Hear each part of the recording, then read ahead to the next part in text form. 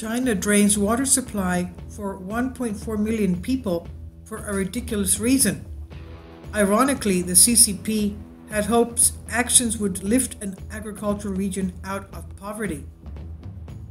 If you plan on watching the Winter Olympics in Beijing starting February 4th, just realize all those ski slopes you're seeing are covered in totally fake snow, and the Chinese government put the water supply of 1.4 million people relying on uh, this, this, this lake water at risk to get it done.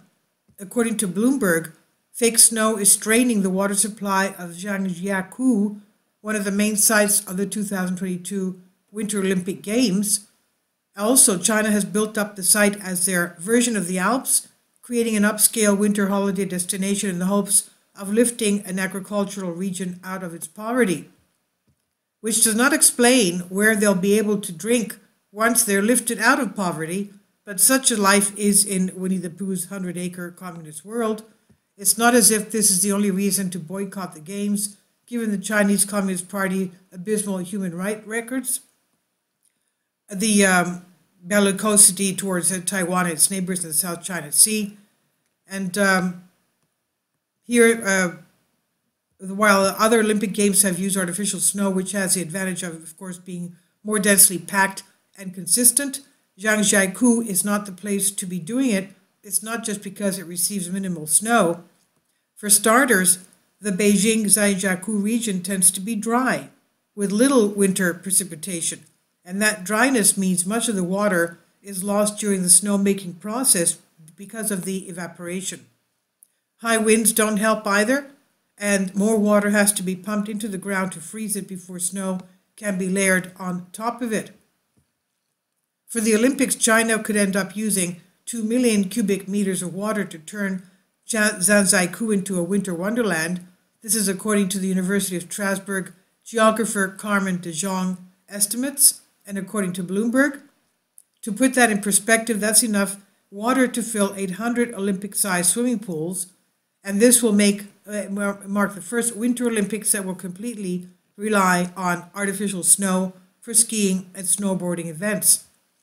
De Jong also estimates in an article for environmentalist publication Tree Hugger that Beijing will need an estimated 49 million gallons of water to create the artificial snow required for the events, the city of Zhangjiakou has 1.4 million residents, with wider prefectural metro home area to a total of 4.1 million.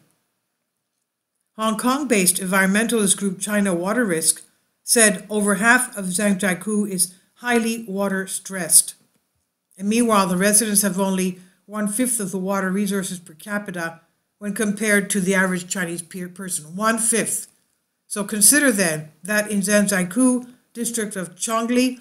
A spokesperson for Beijing Winter Olympics said almost 10% of the water will go towards making snow to cover barren brown hills, according to Bloomberg reports. Zhang said there is bound to be some impacts in the region where there is nearly no water in the winter.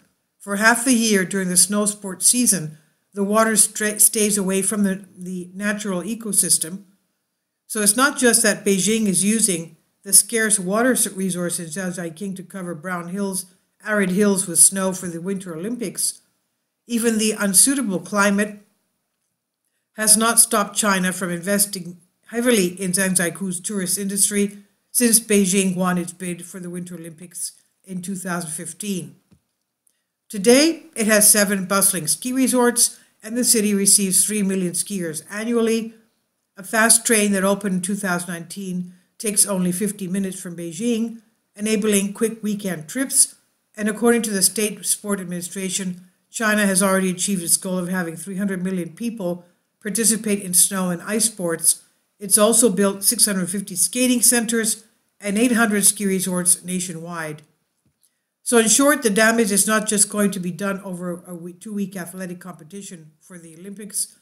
The race to turn Zhangjiakou into a popular winter tourist destination has long been on, and the Olympics is a flagship advertising event for this. So, where are some of the Olympics' biggest sponsors? After all, top IOC sponsors like Airbnb, Coca Cola, Toyota have no problem embracing this, but they seem strangely quiet about everything involving these games.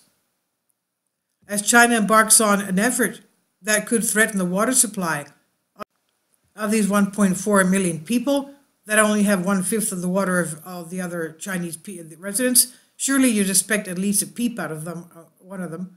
Apparently not, because obviously they don't have freedom of speech. This is on WND by uh, Douglas uh, C. Douglas Golden from Western Journal. Please leave your comments and thank you for your support. Please support my Patreon account. The daily posts are five videos daily, and they are totally different from what I have on my YouTube channel. Thank you so much for your support and that you find all my content so interesting. You'll find the Patreon account details in the description box.